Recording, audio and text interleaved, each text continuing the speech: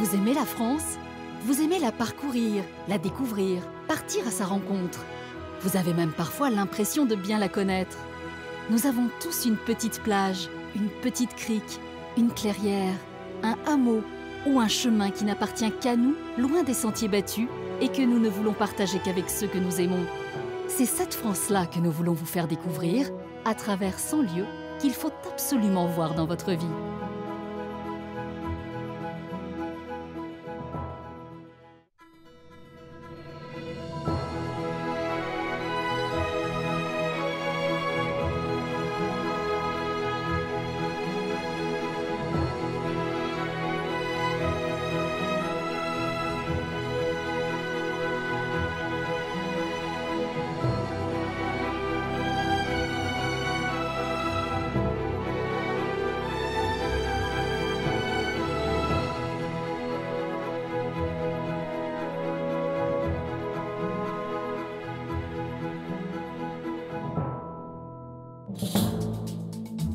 Sur la route du Sud, autour de Carcassonne, que nous vous emmenons aujourd'hui. De la montagne noire au contrefort des Pyrénées, l'Aude s'étend jusqu'au littoral méditerranéen et présente une infinie variété de paysages. Alors avec ceux qui aiment cette belle région, vous allez découvrir tous ces trésors. Après la cité médiévale de Dame Carcasse, vous vous enfoncerez dans les entrailles de la terre pour découvrir des véritables œuvres d'art de calcaire. Dans la vallée de l'Aude, le vin pétillant et un somptueux château cathare nous livrent quelques-uns de leurs secrets. Dans le pays narbonnais, enfin, vous arpenterez les ruelles de Gruissant, l'un des plus beaux villages du golfe du Lion. De surprise en éblouissement, partons tout de suite à la découverte de l'Aude. Au milieu de la plaine de l'Aude, le Carcassonnais se fait discret et dévoile peu à peu ses trésors. Ici, la cité médiévale, posée comme un joyau, nous rappelle la richesse de cette terre. Là, les courbes gracieuses du canal du Midi rythment le paysage. Enfin, les savoir-faire multiples font revivre les coutumes d'antan. La piscine, cabio a rembaillé jardin ustal, peixet paimai à la lentille. Ancien instituteur, Alan n'a pas son pareil pour faire partager son amour de cette belle langue qu'est l'occitan. C'est avec les histoires du Carcassonnais qu'il initie et émerveille les amateurs de contes et légendes locales. Il puise régulièrement son inspiration entre vignes environnantes et canal du Midi.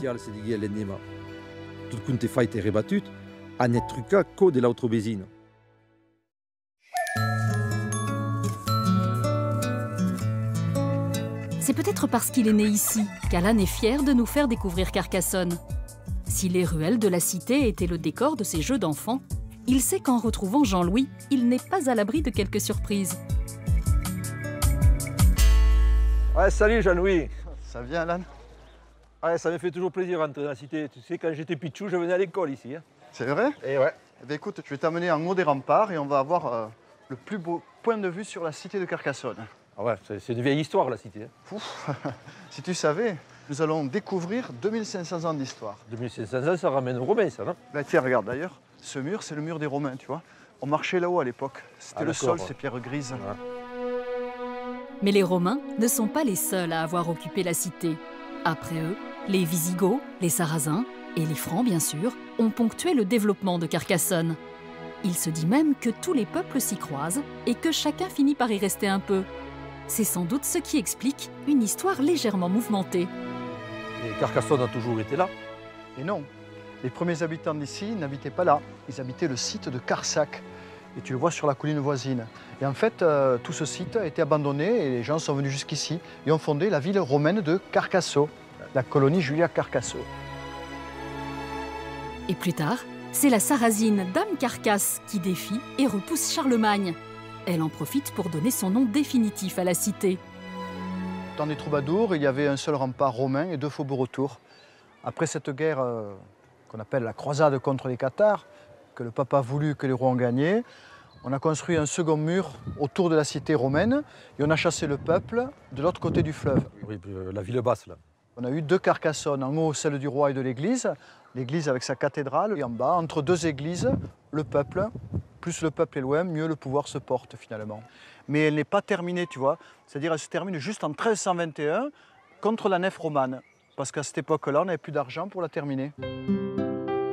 C'est bien plus tard, entre 1840 et 1870, que Viollet-le-Duc réinvestit la cité et la sauve quasiment de la destruction. Il concrétise alors son rêve d'architecte. Nous lui devons toutes les parties hautes de la cité, toutes les toitures, tous les crénelages. Et l'aventure avait commencé effectivement par la restauration de l'ancienne cathédrale de Carcassonne. Il avait dans l'idée de refaire l'identique ou autre chose? Ah non, vraiment pas l'identique. Lui, il avait une vision gothique de la ville, mais son gothique à lui. C'est-à-dire il considérait que l'architecture gothique était le reflet de notre savoir-faire et de nos civilisations. Et donc il a magnifié toute la ville, il a rendu finalement euh, conforme à son rêve. Eh bien, tu vois, Alan, si tu veux, on va aller la voir d'en bas, cette belle cathédrale. Ah. Alors, je te propose de me suivre. On va commencer par euh, des escaliers. En suivant les remparts, la tour du Four Saint-Nazaire et la tour de l'Inquisition s'opposent comme pour nous rappeler leur destin contradictoire. L'une d'entre elles a même changé de nom. Voilà, ça c'était la tour de l'Inquisition dans laquelle euh, les inquisiteurs conservaient leurs archives. Ah, tour de la justice, moi j'aurais plutôt dit tour de l'injustice. Voyez plutôt l'ironie du sort. Une tour dans laquelle les inquisiteurs mettaient leurs documents à l'abri des regards, rebaptisée au moment de la Restauration Tour de justice. Tu vois, Alan, c'est ici que tout a commencé. Quand on a commencé à restaurer Carcassonne, on a découvert un tombeau ici. Donc c'était début 19e C'était en 1839. Et la découverte de ce tombeau a permis la restauration de la cathédrale, puis de l'ensemble de la cité de Carcassonne.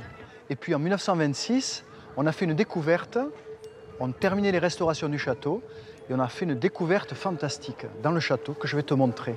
Et c'est quoi cette euh, découverte? C'est une peinture murale de la fin du XIIe siècle.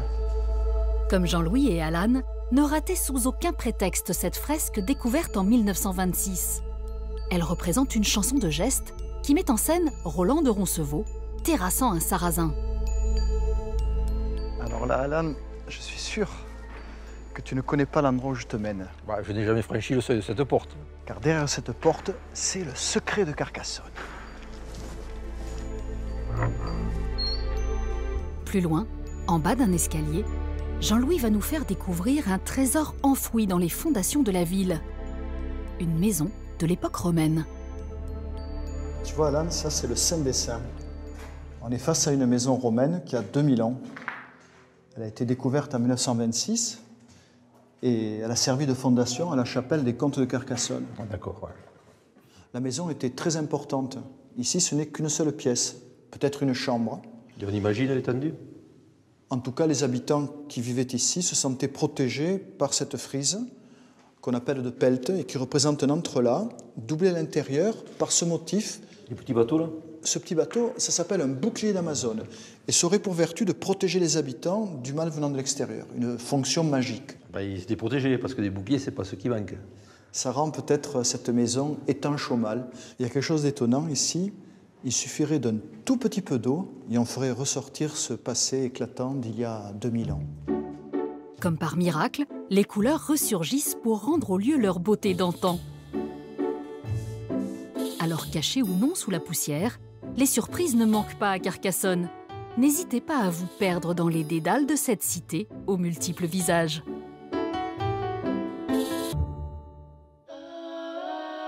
À Carcassonne, lorsque l'on brandit le pot de terre, évidemment, c'est pour préparer le cassoulet. Et selon les règles, s'il vous plaît. Alan ne raterait pour rien au monde la préparation de ce plat typique. C'est donc l'eau à la bouche qu'il va rejoindre Jean-Claude au château Saint-Martin, au lieu de la gastronomie locale. Allez, bonjour, comment vas-tu? Ah ça va, ben, vu le temps, je me suis dit c'est un jour à cassoulet. Eh bien écoute, euh, on va essayer de faire bien. C'est un vrai tableau, là. Tu m'as mis tous les ingrédients pour réussir ton succulent cassoulet languedocien. Eh bien oui, euh, l'indispensable haricot. Ah, des, lingots de palmier. Des lingots de palmier, voilà. Ces haricots, nous avons fait gonfler toute la nuit. Nous les avons blanchis. Bon, après, il y, a le seigneur du cassoulet, le cochon. Nous en avons ici avec l'échine, que l'on appelait aussi la glave, la saucisse, dite de Toulouse, fabriquée à Carcassonne, bien sûr, mais pur porc comme la tradition le veut. Il y a aussi le confit de canard. L'indispensable confit de canard. Et tu vas toujours chercher tes herbes comme la frigoule dans, dans la larique? Tout à fait. Alors, ce que je souhaite, moi, dans ce cassoulet, c'est les parfums. C'est mon enfance, c'est la cuisine de maman, qui avec peu de choses nous donnait des, des saveurs et des parfums. Je vais euh, faire revenir à la graisse de canard Voilà, ça La commence à chanter là. ça. la poitrine de, la poitrine de porc, n'est-ce pas? Et avec tous ces ingrédients, j'ai concocté un bouillon, un bouillon parfumé qui a cuit 3 heures. C'est le minimum qu'il faut pour cuire ses couanes, pour faire euh, l'amalgame de la cuisine. Cassoulet, c'est du thym. Et le cassoulet, c'est du temps. Le bouquet garni, je, je veux en retirer toute la quintessence. C'est ce qui fait la force. Allez, Alan, tu remues là, parce qu'il faut que tu travailles un peu, quoi. hein. Et maintenant, tu peux ajouter l'ail et l'oignon. Hein. Et il faut tout mettre. Eh bien oui, il faut mettre des parfums et des odeurs, là. hein. Là, il faut faire attention, le remuer rapidement, voilà. La cuisine, c'est une chanson de gestes, tu vois. Là, ça, c'est important ce que tu fais.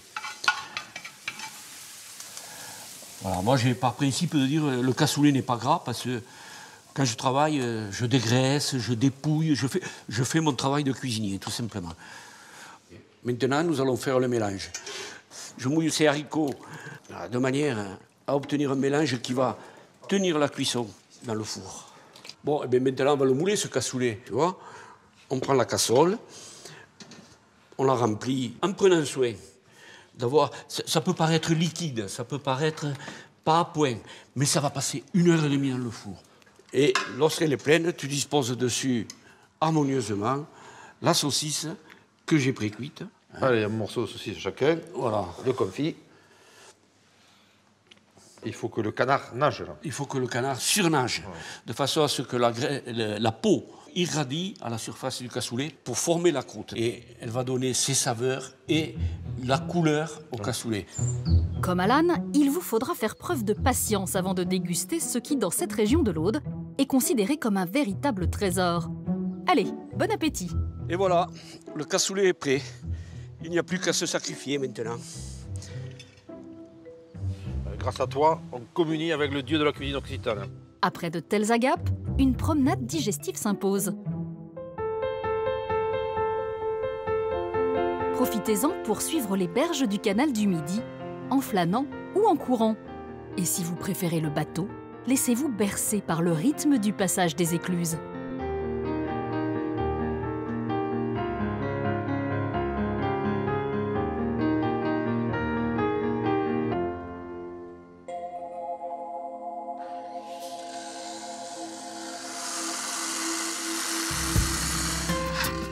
Quelques kilomètres, Alan a souhaité nous présenter un inconditionnel du marbre qui a choisi d'installer son atelier à flanc de colline. Avec Thierry, Alan va nous initier à la métamorphose de la pierre.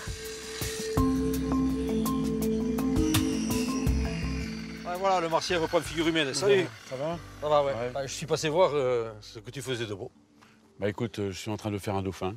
Ah ouais, c'est un monophène. Ah, ça. donc, euh, Dans un sacré bloc. hein. Oui, bon, un bloc de 12 tonnes. hein. Donc pour l'instant, hein, euh, j'ébauche euh, à la disqueuse. La disqueuse et le marteau. Il faut se dire que dans un bloc, euh, lorsqu'on fait une sculpture monumentale, on enlève à peu près 50%. Bon, tu fais plus avec le burin, quoi. Ça fait... Si, si, bien sûr, si, si, mais, Ouais, mais pas à ce stade-là. Et tout cela, atelier de plein air. Il y a plus de 17 ans, 18 ans que j'ai choisi c'est cet vrai, ouais. atelier pour travailler en plein air, parce qu'évidemment, je fais beaucoup de poussière. Euh, C'est Val Sympathique qui chasse poussière et nuages. J'ai plus d'inspiration comme ça, là, voilà. hein. Alors, lorsqu'on voit un cadre comme ça, c'est l'atelier magnifique. hein. D'accord, mais tu fais pas que le dauphin, là. Je vois que tu es en train de travailler en Non, même temps je, sur je- pièces. je travaille aussi d'autres pièces. hein. Je vais te montrer. Ça, c'est la première ébauche. Une fois que je vais avoir une forme très très générale, très stylisée, je vais mouiller ce caillou pour aller voir les veines qu'il y a dedans pour pouvoir placer le reste du visage. Donc là, par exemple, j'ai choisi que le front soit plus marbré que le reste. Et je vais me servir de ces deux petites veines qu'on ne voit pas encore trop maintenant, mais qui vont apparaître après, pour pouvoir encadrer les arêtes du nez. Dès la première ébauche, les veines de la pierre s'imposent. Travailler le marbre est donc une vraie leçon d'humilité. Rien de tel que de prendre les outils pour s'en rendre compte. Voilà. Donc après, tout ça va être travaillé à la ligne. Ah ouais, c'est un plus grand contact avec la matière, une sorte de complicité. Quoi. Voilà, et puis bon, puis là, là, là, on arrête les machines, là, c'est terminé. De toute façon, les machines, ça laisse des traces. Lorsqu'on veut avoir un polymiroir, on évite toutes les traces. tu vois. Donc là, je vais te laisser essayer. Hein? Oui, oui. Hop. Ah, déjà, c'est pas Ah la oui, même c'est pas la même. Il faut essayer de faire des grands gestes, ce qui permet d'enlever la poussière hein, entre l'outil et la matière. Ah, tu vois, il faut que tu. Ah là, faut que tu sentes le. Faut pas euh, limer pour limer, il faut vraiment, tu vois, le. le- Bon, et je, je ne veux pas te l'éborgner. Hein. Et c'est justement sous le regard attentif de Thierry qu'Alan va s'exercer au polissage. Une opération délicate qui donnera le fini brillant, mais aussi du caractère aux œuvres de Thierry. Des visages de marbre essentiellement, mais aussi des sculptures monumentales. C'était très intéressant. Bon, je m'en vais parce que tu risques de m'embaucher comme apprenti. Je Ouais. pense que je ne ferai pas l'affaire. Mais si, mais si. Non, non. Il va falloir revenir. Oh. L'appel du marbre. Non, non, ça marche pas, ça. En réalité, c'est à l'appel du vide qu'Alan va maintenant succomber. Il va nous faire découvrir le gouffre géant de Cabrespine, un lieu qui porte particulièrement bien son nom. Alan retrouve Philippe dans cette immensité minérale qui impressionne autant par ses dimensions que par sa beauté. Allez, on est parti. Ouais, Aussi de suite, on y va. Eh bien, on est où, là hein? On se prendrait pour des oiseaux, et Philippe hein? Oh, là, tu as la chance d'être sur le, le balcon de verre. C'est la première fois qu'on fait un tel ouvrage sous terre. Tu as 200 mètres sous tes pieds, 40 mètres au-dessus de ta tête. Tu es projeté au milieu de la salle. Et donc, euh, cette, cette grande salle, euh, ça fait longtemps qu'elle est connue Alors longtemps, non. La, la véritable entrée se trouve près du village de Cabrespine. Tu as une, une voûte en roche qui avance sur la chaussée. Et cette voûte en roche donne accès à deux salles. Alors, les, les deux premières salles étaient connues. Et c'est tout à fait par hasard qu'en 1968, deux jeunes spéléologues se sont rendus compte que dans l'une des deux salles, en bas, au ras du sol, il y avait une petite crevasse qui faisait à peu près 10 cm. Et au moment où ils sont passés à côté de cette crevasse, ils ont vu s'y engouffrer une chauve-souris. Alors là, ils se sont approchés, ils ont senti que de là euh, s'échappait un courant d'air. Ils ont agrandi le passage et ils sont tombés sur ce trésor. Ils sont tombés sur cette salle qui, qui- qui- qui est immense, mais ils ont également découvert en bas 25 km de grotte. Ça, été vraiment le, le début de, de- de- de l'aventure souterraine ici à Cabrespine. On considère que c'est la plus grande salle aménagée en Europe. Alors imagine 250 mètres de profondeur. Tu, tu pourrais presque y rentrer à la Tour Eiffel. Impressionnant en effet, même pour les plus courageux. Mais le gouffre a bien d'autres merveilles à dévoiler. Alors tu vois, là, là je t'amène dans le sein des scènes des, des grottes des milieux souterrains. Là, tu vas retrouver ici tout ce que tu peux rencontrer sous terre. Alors évidemment, l'aragonite à droite. Ça, c'est, ça fait penser un petit peu des corails, des fonds marins. Ouais, ça, c'est du courrier de terre. Du corail de terre, si tu veux. Et c'est ce que tu vas trouver de plus précieux, de plus, de plus rare dans le milieu souterrain. Alors, face à nous, plus classique, hein, une colonne. On appelle ça des buffets d'orgue. Et à gauche, surtout des disques, tu vois, qui sont hyper bien formés, qui sont magnifiques. Un véritable lustre. hein. On peut appeler ça des, des lustres de calcite. Et encore plus à gauche, tu vois, tu retrouves ces cierges qui sont d'une finesse extrême. Et puis ce qui beau, c'est les couleurs. Là, tu retrouves euh, un dégradé de couleur qui est dû à des oxydes de fer, qui est tout à fait somptueux. Euh, La calcite, au départ, c'est blanc, mais ça reste blanc, ça, si c'est tout le temps humide, tout le temps alimenté par l'eau. Si ça se sèche, même sur de courtes périodes, ben, ça s'oxyde. Et là, ça donnait des dégradés de couleur dus à des oxydes de fer qui sont, qui sont Ça a donné ce rouge là. À ce, ce rouge vif ouais, que tu as sous les yeux. Ouais, mais le travail n'est pas fini là, les sculptures continuent, je vois. Tout ce que tu as sous les yeux, c'est des choses qui ont des dizaines, des dizaines de milliers d'années. Ben, on reviendra pour le voir. hein. Si tu veux, mais alors, il faudra se réincarner en chauve-souris. Ouais, je vais aller étudier la question, c'est réincarner un chauve-souris. D'accord. Ah, J'étais très content de la visite. hein. Allez, Mais merci Alan. salut. Ciao.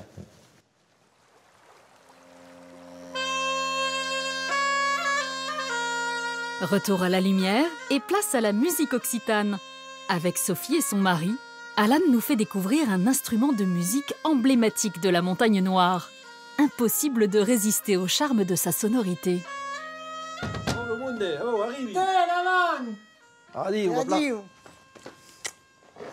Salut. Alors, cette nouvelle bodega Ça va Allez, Yann. Voilà, on monte.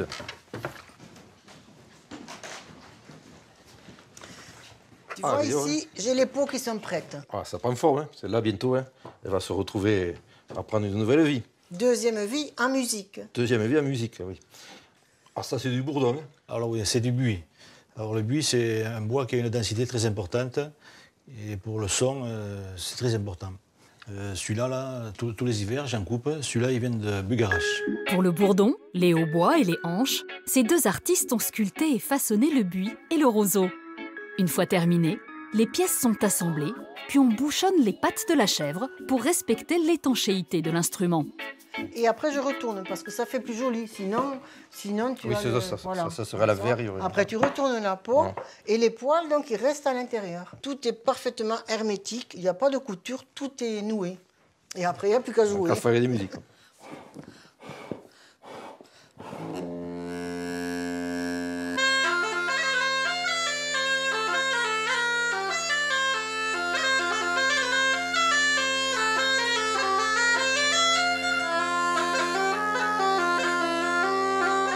Comme Alan, laissez-vous emporter par le rythme de ces airs catalans.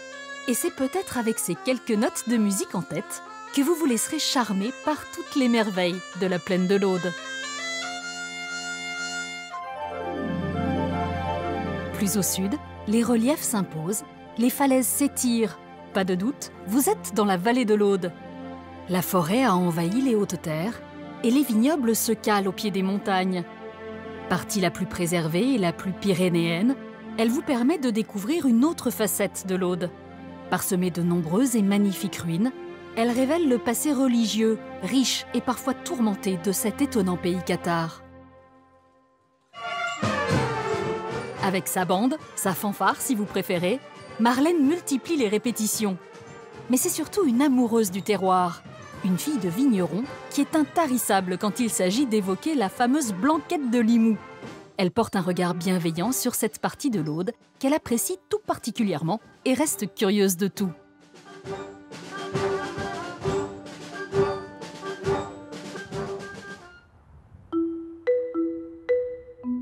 Étape incontournable, Alette-les-Bains se dresse fièrement entre deux falaises escarpées. Marlène a choisi Jean-Louis pour nous faire découvrir cet étonnant village traversé par l'Aude. Et bonjour Jean, Et bonjour Marlène, comment ça va? Ça va et toi? Bien, Qu'est-ce qui t'amène dans notre village? Bah, tu vas me le faire visiter, non, un peu, peut-être. Allez, Il paraît ok. que tu le connais très bien. On y va. Allez, Comme eux, vous arpenterez ces ruelles typiques qui reflètent encore l'activité florissante du XVIe siècle, marquée surtout par l'empreinte religieuse de l'évêché, particulièrement présent. Et c'est d'ailleurs au cœur de la cité, dans cette abbaye devenue cathédrale, que Jean-Louis va vous révéler une part importante de l'histoire du lieu. Voilà, tu vois ici, euh, imagine une cathédrale avec sa voûte, 400, 500, 600 personnes, ce sont des pèlerins. Et tout un ensemble architectural roman d'ensemble. d'accord. Et là, tu, tu peux te refigurer ce qu'est un pèlerinage au Moyen Âge. C'est vraiment, euh, c'est majestueux, c'est vraiment une belle surprise là. hein. C'est un monastère qui possède un fragment de la vraie croix. Et au Moyen Âge, la vraie croix attire énormément de pèlerins. Voilà pourquoi les moines euh, envisagent alors de construire un sanctuaire digne de ce nom. Et voilà, le, voilà ce qu'était le résultat. Abbaye ou, ou cathédrale hein? J'ai entendu parler des deux. Ah ben, c'est une abbaye jusqu'au XIVe siècle, mais à cette période où le catharisme et l'hérésie albigeoise fait rage en Occitanie, le pape Jean XXII va créer une multitude d'évêchés pour, en quelque sorte, polisser la région, la surveiller, la maîtriser, au Euh. détriment des cathares. Mais comment euh, ce bâtiment a pu euh, sombrer dans un tel état? Ce sont les Huguenots qui sont venus en 1577 envahir Alette et détruire la cathédrale. Ils n'ont jamais essayé de la rebâtir? Non, il est passé quelques années sans évêque d'ailleurs. Le village était complètement abandonné. Il faudra l'arrivée un jour d'un certain Nicolas Pavillon pour remonter le diocèse. Mais par contre, les ruines restent ruines. L'argent dont il dispose, lui, il va le distribuer aux pauvres. Ce sont quand même de belles ruines. Au XIXe siècle, c'est Prosper Mérimée qui est directeur des monuments historiques, qui vient ici aller dans l'esprit de la remontée, la cathédrale. Quand il voit euh, le coût annoncé, il y renonce et il annonce au conseil municipal qu'à la place, il lui décerne le titre de plus belle ruine de France. Ça faisait une belle jambe au conseil municipal. C'est sûr. Tu comprends? Mais les ruines ne sont pas une fatalité. Et c'est ce que Marlène va vérifier auprès de Jean-Baptiste et Anne, qui se sont mis en tête de redonner vie à des cabanes de vignerons en utilisant des techniques ancestrales, mélange d'astuces et de bon sens. Oula, voilà. Et là, on est stable. On voit bien qu'elle a un point à droite, un point à gauche et un à l'arrière. Eh, bonjour Jean-Baptiste. Et bonjour. Comment ça va Ça va et toi? Très bien. Laisse-moi te, te présenter Anne. Anne, c'est notre formatrice euh, depuis quelques années, tous les samedis matins. Bonjour. Bonjour. Elles servaient à quoi ces cabanes au départ? Alors, elle servait euh, d'une part, bien sûr, pour les vignerons pour s'abriter, mais aussi euh, pour euh, abriter le, le cheval, puisqu'ils ne mécanisaient pas avant. Et après, on peut retrouver des cabanes de jardin ou des cabanes de berger pour, pour, les, pour le berger et pour ses troupeaux. Aujourd'hui, il n'y a plus de chevaux, donc pourquoi les rénover? L'idée de départ même euh, était un collègue vigneron qui voulait en raser une. C'était son grand-père qui l'avait créé au retour de la guerre. Et, euh, et quand on a appris ça, on a dit non, tu vas la garder et on va même t'aider à la rénover. Et c'est là que Anne intervient. Les apprentis bâtisseurs partagent son savoir-faire et pour tout le monde, la reconstruction se fait dans les règles de l'art ou ne se fait pas. On rebâtit à sec et en utilisant surtout les pierres qui se trouvent à proximité. Vous allez voir, ça paraît facile, enfin presque. Oh là là là là. Ils ont tout cassé. Bon, plus- Mais la restauration est aussi synonyme de prouesse technique. Et sur le sujet, Anne est intarissable. Au départ, la cabane euh, qu'il y a derrière toi était euh, beaucoup plus devant et ce magnifique chêne avait poussé au milieu. Et on s'est dit, on va en aucun cas l'enlever. Mais on a préféré la pousser de quelques mètres à l'arrière. Du coup est venue l'idée de carrément le mettre en valeur. On l'a donc mis au-dessus d'un petit muret de soutènement. Et un peu plus loin là-bas, on a ce qu'on appelle l'escalier volant. L'escalier volant, c'est les, les pierres qui sortent du muret, c'est ça? Un escalier volant, c'est une, euh, une technique très ingénieuse des anciens qui consistait à faire un- mettre une pierre de débordement, un tiers en extérieur, deux tiers à l'intérieur, de manière à pouvoir avoir accès aux terrasses. Il faut que la pierre soit solide. Tout à fait, bâtir euh, un, un escalier volant avec du schiste, ça peut être périlleux. Ici, on a un magnifique grès.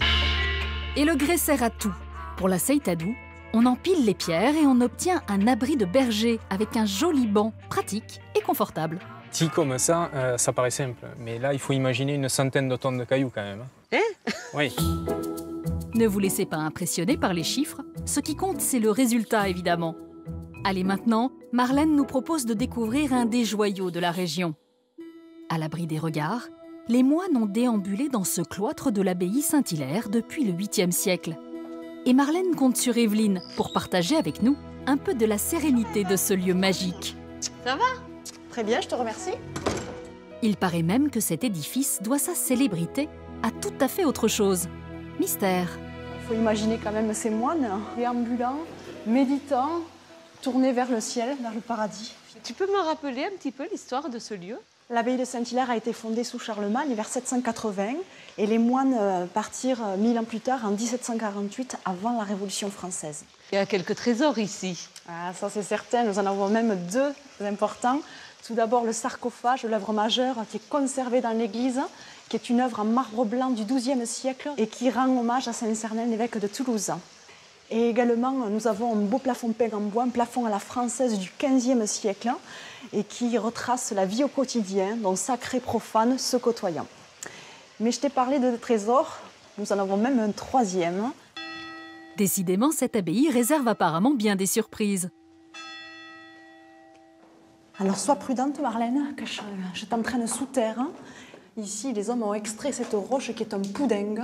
C'est l'assemblage de galets et de sédiments. C'est comme le lit d'une rivière et ça dénote la présence de l'eau. Ce fameux poudingue est nécessaire au développement de nos vignes, qui fait donc même la richesse de nos vignes, de notre terroir et de ce cépage mosaque, associé à un savoir-faire, celui de nos moines bénédictins, et bien est à l'origine de la première bulle. Comment est née cette première bulle? Eh bien, on apprend que les moines, par le plus grand des hasards, découvrent qu'à la vieille lune du mois de mars, donc euh, au début du printemps, démarre une seconde fermentation. Et donc les bulles naquirent à ce moment-là, au début du XVIe siècle. Mais on a la preuve de ça? Nous sommes même chanceux puisque tu trouveras même derrière toi une, une copie de ce fameux document, un document daté de 1544 et qui atteste de ce premier vin pétillant au monde, qui est la blanquette. Est-ce que tu sais par hasard d'où vient le nom de, de la blanquette? Non, tu vas me l'apprendre. Le cépage dont tu parlais, le mosaque, a le dessous des feuilles avec un petit duvet blanc. Le vent balaie les vignes et donc euh, on voit à l'horizon de grandes étendues blanches. Et donc les anciens disaient appeler ça les blanqueires de l'occitan, ce qui a donné le nom de blanquette. Voilà donc le secret de ce vin pétillant qui ravit les palais les plus fins un peu partout dans le monde.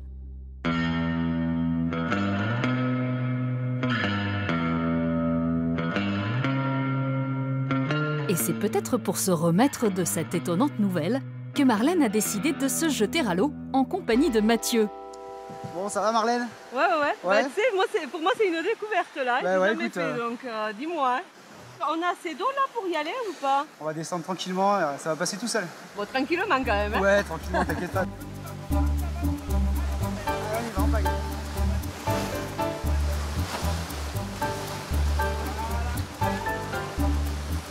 Alors tu sais, on n'est pas les premiers rafters. hein. Il y avait euh, du monde déjà euh, sur l'eau bien avant nous. C'était euh, bah, les carassiers avec les carasses qui descendaient le bois en fait. Hein, ici, euh, il y a beaucoup de forêts, tu vois, tout autour de nous là. Et bah, le- les rois ici étaient propriétaires de ce bois et ils faisaient descendre tout ça par la rivière. Ils descendaient le bois tout au long de l'autre pour faire des bateaux ensuite au chantier naval. D'accord. Regarde. Voilà. Ça, c'est les gorges de Saint-Georges, tu vois là. C'est Ah, magnifique. magnifique. Calcaire partout. Allez. Bah, tu vois, on peut remonter les rivières, hein, il y a des contre-courants. Ah ouais C'est là où on est là. Je pensais pas. Comme les poissons là. Hein, T'es la truite fario là, c'est la truite euh, des rivières qu'on a ici là. Et euh, tu t'attendais pas à ça ce matin en te levant Non. à, à faire la truite? Tout ça, ça a été façonné par, la, par le fleuve Aude. Ça monte très très haut. On peut arriver jusqu'à 300 mètres de, de vertical. D'accord. Hein, après, il y a des décalés, mais C'est vrai que quand on passe en voiture sur cette euh, route, déjà c'est assez impressionnant, mais alors là d'être vraiment en dessous. C'est effectivement une autre façon de découvrir les merveilles de la région. Comme Marlène, vous poserez un regard très différent sur les richesses de la nature. tu vois la petite fleur violette là, et blanche, qui est sur la berge là? Ouais, ça c'est la saponaire. On s'approche tout près. Voilà. Et alors qu'est-ce qu'elle a de spécial cette euh, fleur? Ah, tu vas voir, regarde. Voilà la saponaire, Marlène. Tu vois? On peut faire une expérience si tu veux. Ouais. Hein, on va la faire tous les deux. Tac. Donc, euh, on prend les pétales, les bulbes. Alors, tu vas voir, ça sent rien. hein, ça, Non, sent, ça sent vraiment la plante. C'est pas pour ça. on va mélanger un peu avec de l'eau. Ok. Et puis là, on va frotter. hein, tous les D'accord. deux. Allez, on frotte à fond. Ah, À j'ai l'intérieur, ce qui l'impression se d'avoir passe. du savon là. Voilà. Ah c'est ouais. ça. Ah, donc, euh, tu vois, c'est marrant.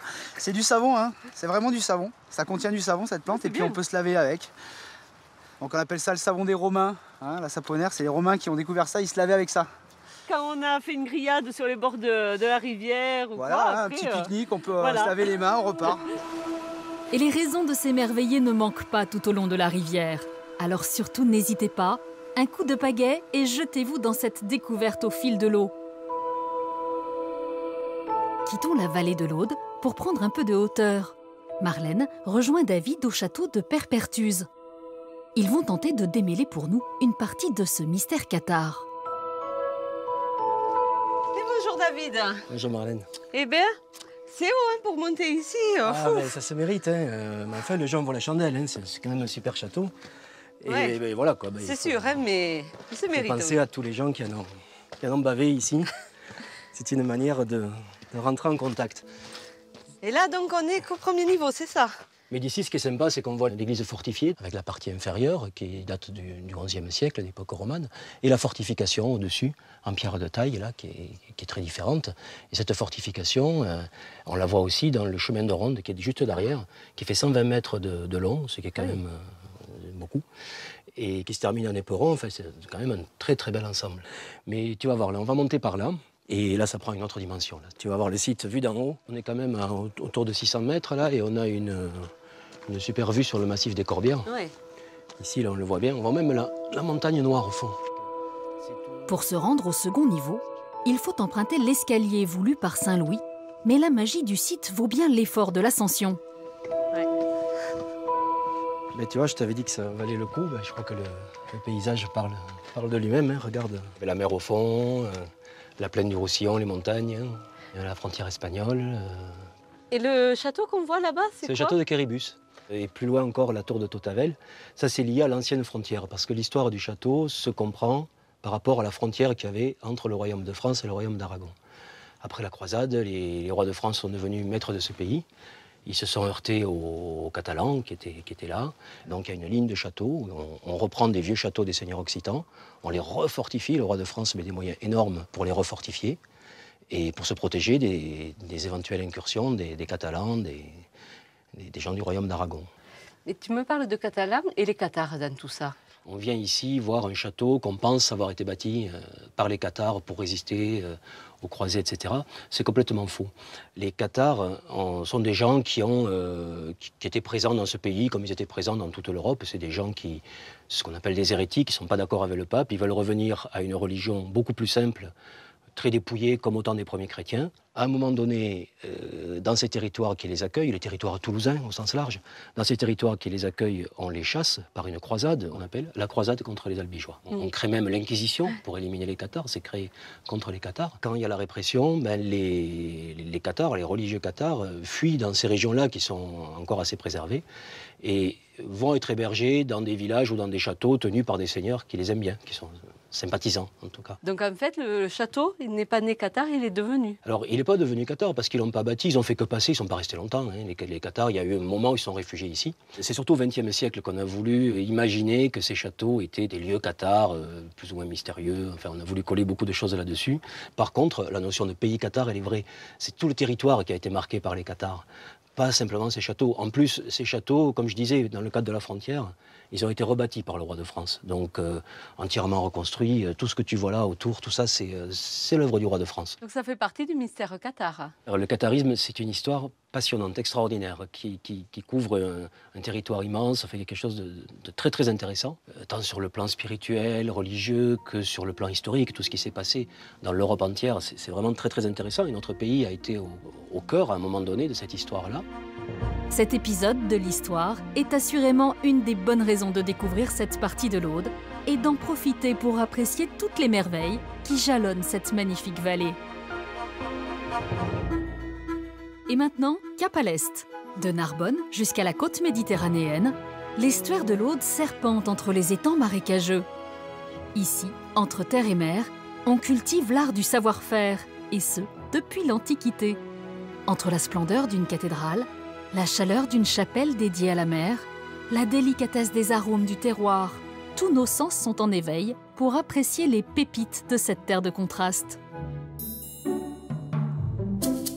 Passionné d'histoire et de nature, Michael est un enfant du pays plutôt joueur, puisqu'il organise des chasses au trésor pour les randonneurs qui apprécient et aiment cette belle région. Toujours à l'affût, il est curieux de tout et en quête permanente de nouveaux indices pour pimenter la découverte du pays gruissanais.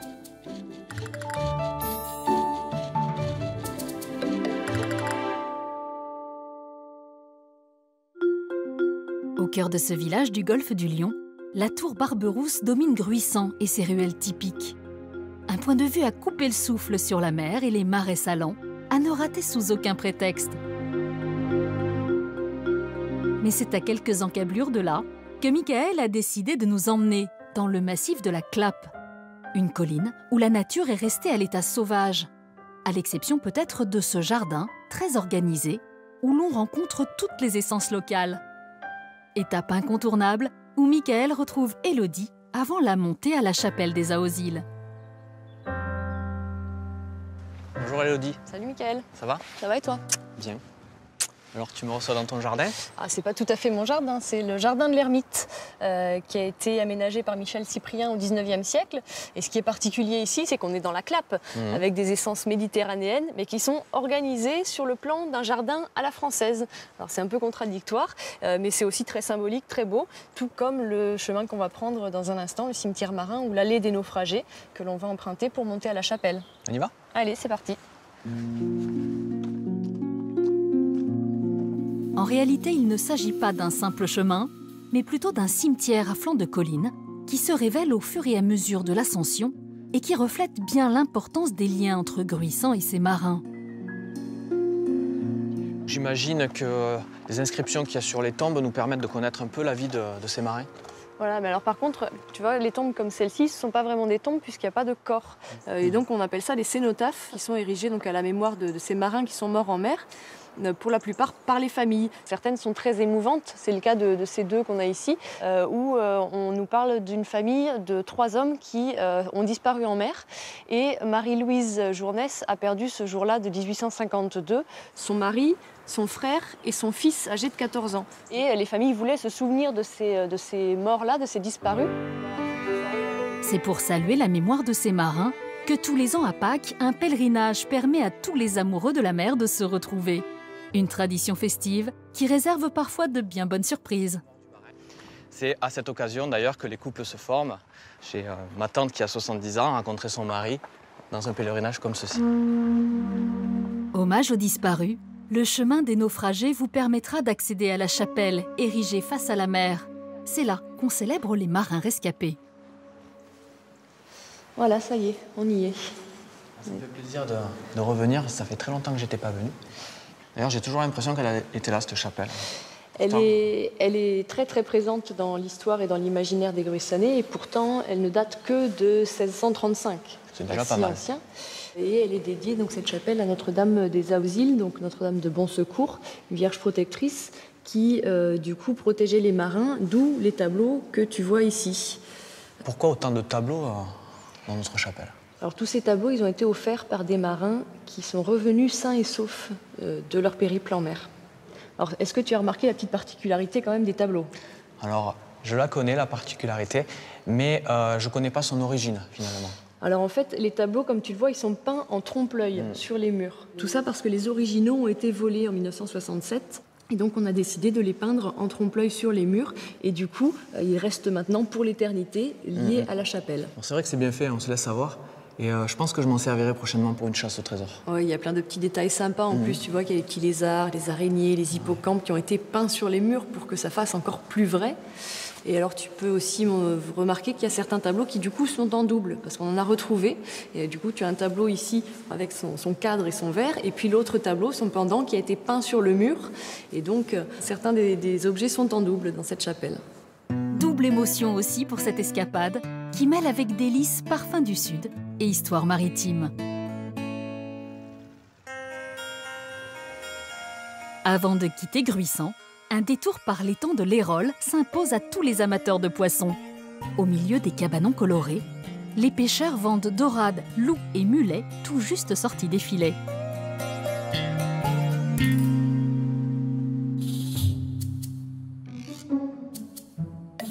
À quelques kilomètres, Michael nous embarque pour un surprenant voyage gustatif dans un des plus beaux villages de l'arrière-pays narbonnais, La Grasse. Cyril y manie senteur et saveur du terroir.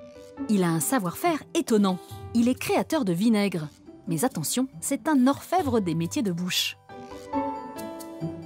Bonjour Cyril. Comment ça va, Mika Ça va bien et toi? Ça va, impeccable?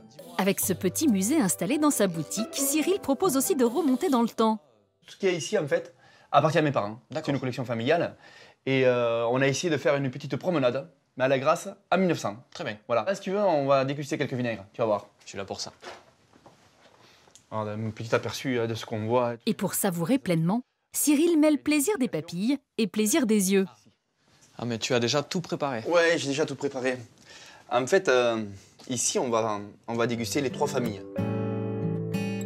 Avec Cyril, il n'y a pas un vinaigre, mais plutôt une infinie palette de saveurs qui viennent agrémenter un plat. Et autant de techniques de fabrication, ou presque. Allez, alors je t'ai fait dégu- dégu- déguster déjà un vinaigre de vin blanc.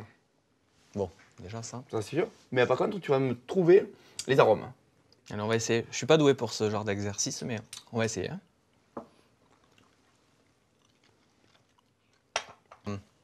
Tous les arômes, même par contre, je suis. J'arriverai pas à deviner les épices. Est-ce que tu veux pas m'aider Alors, les épices, c'est muscade, clou de Oui. girofle Clou du girofle, je l'ai senti, oui. et un petit peu de cannelle. Tout Aussi, c'est vrai, de c'est vrai. Là, ce qu'on a voulu, euh, c'est un vinaigre qui soit vraiment très très fin, Oui. plus pour des huîtres. Les huîtres, c'est génial. Je peux en goûter un autre? Allez, on goûte un autre. Euh, les balsamiques. Alors là, balsamiques, euh, généralement, me disent- les gens me disent je connais, balsamique, je connais. Mhm. Euh, Il faut savoir que C'est 95% ou même 18% des vinaigres sont faits en un quart d'heure. Mais un véritable balsamique, c'est 4 ans de fermentation. Avant 4 ans, on ne peut pas avoir du balsamique. Et toi, tu mets un peu plus longtemps Un petit peu plus. Moi, je mets que Combien 8 ans à le faire. 8 ans Voilà. Euh, ben, en fait, euh, je dis que c'est- c'est 7-8 ans Ouais. euh, parce qu'il faut changer plusieurs fois de barrique pour avoir les différentes essences de bois. Alors, je te dis pas ce que c'est. Je te laisse deviner. hein. Mais il faut savoir une chose. hein. C'est que là, on est quand même sur des vinaigres euh, où il peut y avoir des réactions. Je vais te faire goûter balsamique aphrodisiaque. D'accord, je comprends. Allez, on y va. Là, je t'en ai peut-être un peu trop mis. hein. Hum, Il est excellent. Euh, Excellent. D'après toi, qu'est-ce qu'on a mis? Alors, les épices euh, aphrodisiaques, euh, gingembre. Gingembre, très bien. Mais après. Bois mandé, et un petit peu, mais un fond, une pointe de cannelle. Alors, je t'en ai mis quand même pas mal. Tu me diras un peu ce- si ça marche. En tout cas, je te remercie de, de m'avoir fait découvrir tous euh, tous ces vinaigres. Je ne savais pas qu'on pouvait en avoir autant et aussi bon. Après cette dégustation, direction Narbonne, qui garde la trace des siècles d'histoire, avec notamment la cathédrale Saint-Just-Saint-Pasteur. Michael apprécie le calme et la beauté du cloître avant de retrouver Mireille près de la nef de cette cathédrale qui semble inachevée. Son architecture est le résultat d'un compromis entre formes du Nord et du Sud.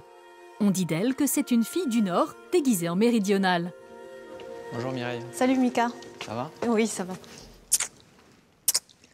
On a beaucoup de chance aujourd'hui. On est, on est seul pratiquement. On est seul dans la cathédrale, oui. C'est- génial. En arrivant, euh, je suis passé par le cloître pour, euh, bah, pour venir te voir. Il a été construit en même temps que la cathédrale? Oui, en fait, euh, juste après. Il fait le lien entre la cathédrale et le palais des archevêques. La beauté de l'édifice, la perfection des voûtes, le solide équilibre des masses et des volumes font de la cathédrale de Narbonne une des œuvres les plus techniques et les plus innovantes du XIVe siècle. Elle vous enchantera à coup sûr. Normalement, il n'y a pas accès, mais je vais te faire rentrer dans le cœur. Je suis un privilégié alors. Oui, tu es un privilégié. Merci. Je suis vraiment privilégié, surtout qu'en plus c'est immense. La voûte mesure 42 mètres de haut. Donc le projet était vraiment très ambitieux. Euh, L'idée de l'archevêque qui était euh, conseiller de Saint-Louis euh, était de construire une cathédrale à l'image de celle du royaume de France. Et il a vraiment voulu rendre hommage au roi de France en pensant une cathédrale dans le Midi, tout récemment annexée au royaume de France, donc pour montrer qu'on était euh, français. Par rapport au roi de France, il y a un lien ici euh, Est-ce qu'ils sont Tout à fait, oui. Les cathédrales euh, souvent étaient pensées aussi comme pouvant accueillir des sépultures, des tombeaux royaux. Et euh, ce- c'était pas prévu du tout quand la cathédrale était pensée, mais le fils de Saint-Louis va être enterré ici même, dans le chœur. J'ai cru entendre que la première pierre de cette cathédrale avait une histoire particulière. Est-ce que tu peux m'en dire un peu plus? La première pierre de la cathédrale a été envoyée de Rome par le pape Clément IV, donc l'ancien archevêque de Narbonne, Guy Foulques, Mhm. et elle a été posée le 3 avril 1272 et euh, elle contenait en fait une croix d'or. On continue? Allez, ça marche. On y va, viens avec moi. Ça, ce sont des stalles. Alors tu stalles. vois, je soulève le siège et tu peux t'asseoir. Ça s'appelle le système de miséricorde. Vas-y. Peux essayer, ouais. Ouais, assieds-toi. Je te dis aujourd'hui, tu es un privilégié. hein. C'est vrai, hein Voilà. Donc là, tu es assis, Et debout à la fin. tout en paraissant debout. Tu peux joindre tes mains. euh, Les religieux avaient cette position. Ah bah, C'était plus pratique. Hein. Miséricorde, c'est très bien. Allez, bon. Allez. Comme Michael, ne ratez pas la salle des trésors située juste au-dessus de la nef. Elle vous réserve bien d'autres surprises. Voilà le trésor. D'accord. Tu vois, ce qui me saute aux yeux, je trouve vraiment étrange, la, la voûte est étrange. En fait, c'est une très belle voûte. Les briquettes de terre cuite sont posées de champ sur euh, un plan ellipsoïdal. Et ça lui confère un aspect circulaire assez élégant, qui est complètement différent, même si c'est élégant, des voûtes en croisée d'ogive qu'on a vues en bas. Ouais. D'accord. Alors tu le sais, moi je suis passionné de trésors. Mhm. J'imagine que les trésors, c'est ce que l'on voit dans, dans les vitrines. Alors, il y a le pontifical de Pierre de la Jugie, euh, la boîte en ivoire des ateliers de Cuenca, et puis les fameux trois fragments du tombeau de Philippe III le Hardi, les seuls vestiges de ce tombeau qui a été démantelé à la Révolution française. Mais le trésor dont je voulais te parler, il ne se voit pas, Ah bon? Il s'entend. C'est vrai. Alors, je t'invite à faire une petite expérience. Tu vas dans l'angle, au fond, et moi, je vais me mettre à l'angle opposé.